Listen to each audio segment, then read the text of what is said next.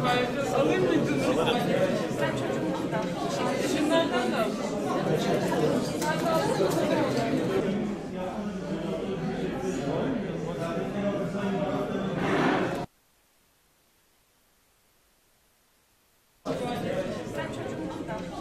Şunlardan da al. Eskide bayramlar çok güzel geçiyordu. Biz insanlarla sohbet ediyorduk. Herkese ziyarete gidiyorduk. Şimdi bütün yakınlarımız da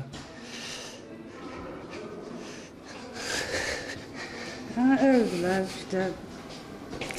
en çok da üzüldüğüm öğrencilerim de her gün bir mesaj geliyordu. Filan ha, enkaz altında kalmış. Onları çocuklarımdan daha çok seviyordum yani onu. Çok bağlıydım ve en büyük kaybım oydu. Ev, ev gitsin, ev önemli değil yani. Bir dönemiyorum yani. Beni çok seviyorlardı. Ben de onları çok seviyordum. İşte çocukları kurtardım. Tek şeyim, e, tesellim o oldu. Kendi çocuklar. Evet, cengen çocuk. Ya var var ama Birçoktu da ama yaşayanlar gönderdiler yani.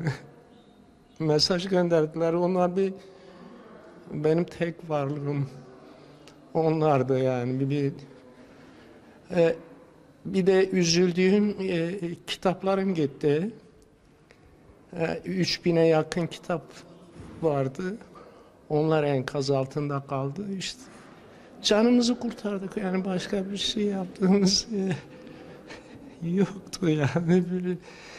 Çok buruk geçiyor. iyi geçmiyor. Sıkıcı.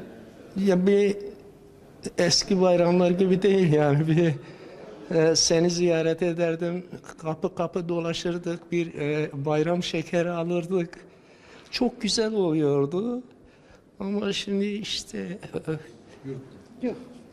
İyi olmaya çalışıyoruz her şeye rağmen. Yani bir e, Quigley'nin bir sözü vardı.